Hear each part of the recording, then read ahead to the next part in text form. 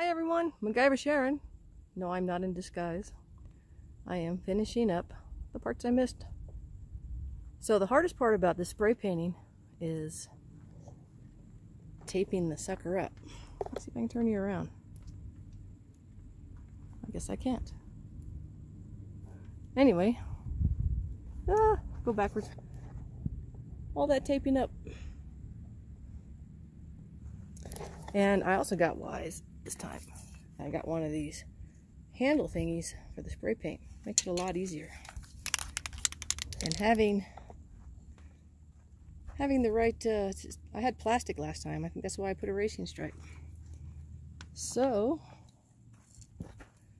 this time, I got the painter's tape.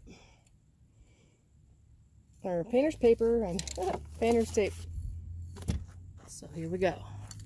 I'm going to finish up one side and I think that's going to be it for primer. So, there we go. Let's hope this paper holds up. I don't know where to start.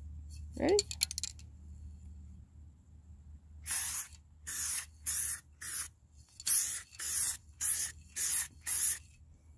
I guess I better put this thing down and pay attention.